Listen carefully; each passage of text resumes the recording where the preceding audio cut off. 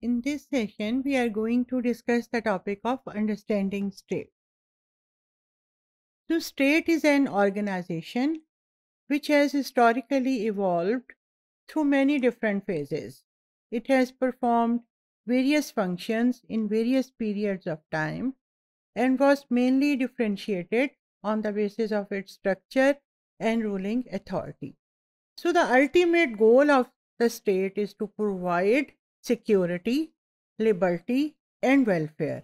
To its people, which it seeks to accomplish by one means or another.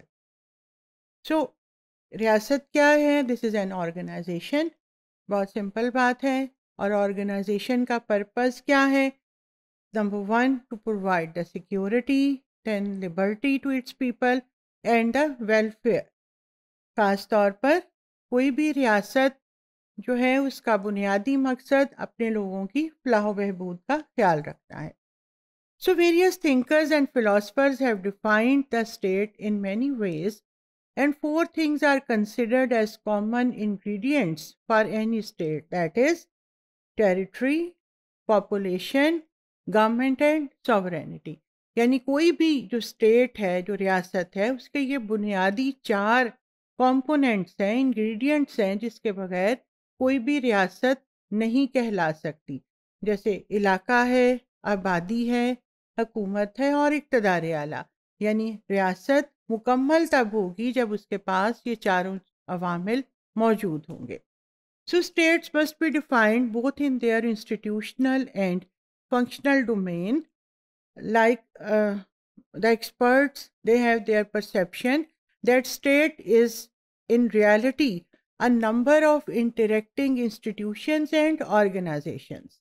It's a perspective कि state जो है, वो मुकम्मल ही नहीं हो सकती जब तक उसके पास इंटरेक्टिंग इंस्टीट्यूशंस एंड ऑर्गेनाइजेशंस ना हो यानी विद इन स्टेट भी तो कुछ रिक्वायर्ड है ना, और वो इंस्टीट्यूशंस होते हैं और ऑर्गेनाइजेशंस होती हैं जिनके दरमियान प्रॉपर इंटरेक्शन होना चाहिए but the following definition of state by Mann not only defines the structural aspect of a state, rather it also explains its functional attributes.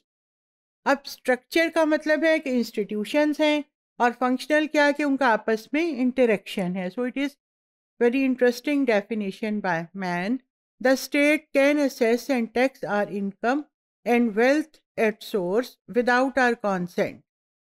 Definitely state के पास चूँकि अथॉरिटी है तो वो हमसे टैक्स ले सकती है, चाहे हम देना चाहें या ना देना चाहें, लेकिन हमारी इनकम पर स्टेट टैक्स ले सकती है, ये उसका राइट है।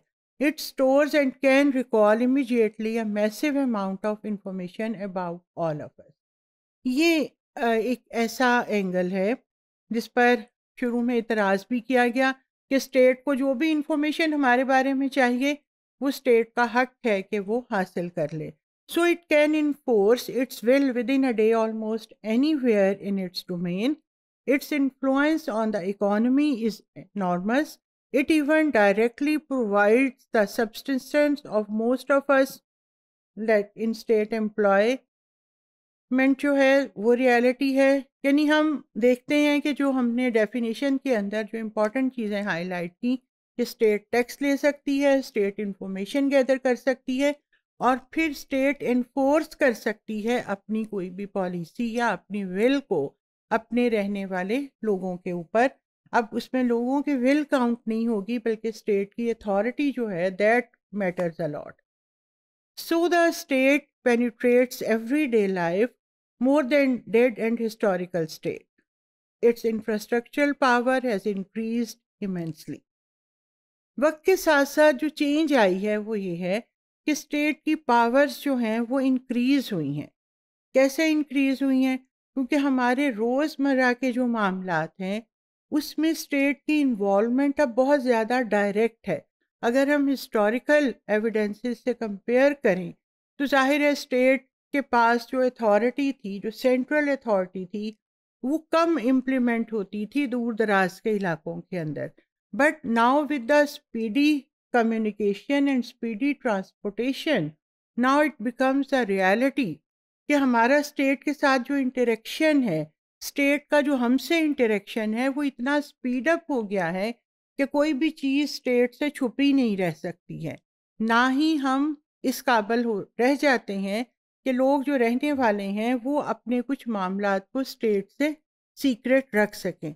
So the state is a political institution because it wields power and for that reason is a focus for political sociologist अब यहाँ ये सवाल है कि why political sociologist want to understand state definitely state एक political institution है, लेकिन चूँकि इसकी जो एक्सरसाइज ऑफ़ पावर है, वो डायरेक्टली उसका ताल्लुक लोगों के साथ है इंडिविजुअल्स के साथ है सोसाइटी के साथ है तो हर वो एरिया जिसका ताल्लुक लोगों से होगा, सोसाइटी से होगा, पावर से होगा, वो पॉलिटिकल सोशियोलॉजिस्ट के लिए बहुत इंपॉर्टेंट एरिया कंसर्न, उसके बारे में कंसर्न होते हैं और कंसिडर करते हैं कि ये हमारा एरिया है।